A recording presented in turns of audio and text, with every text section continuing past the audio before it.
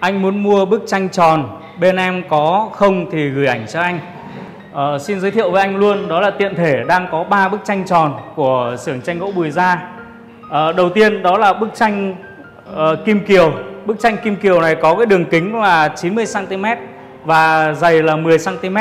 Nếu như nhà anh có một cái khuôn viên nó khoảng độ tầm ờ, 20 mét vuông ở trong phòng khách thì anh có thể treo được bức tranh này nói về uh, cuộc tình của Kim Kiều và cái thứ hai là đây là một trong những áng văn bất hủ của Việt Nam. Và bức tranh thứ hai uh, mà rất nhiều người cũng đã bình luận ở trên bức tranh này đó là trên bức tranh lại bao gồm cả hai cho đến ba bức tranh khác và bức tranh này thì đã làm tới năm à, 5 tháng đó là bức đĩa hoa mẫu đơn.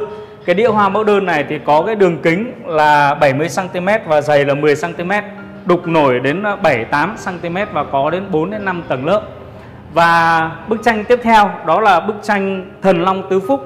Nếu như sang năm là năm rồng rồi đó, thì ờ, chúng ta có thể trưng bày cái bức tranh Thần Long Tứ Phúc này vừa mang cái đường nét rất là mới lạ ở chủ đề rất là phù hợp với năm mới và cái thứ hai nữa, cái bức tranh này thì lại mang nhiều cái tài lộc đến cho gia đình nhà mình thì xin mời anh cùng cảm nhận ba bức tranh này nhé.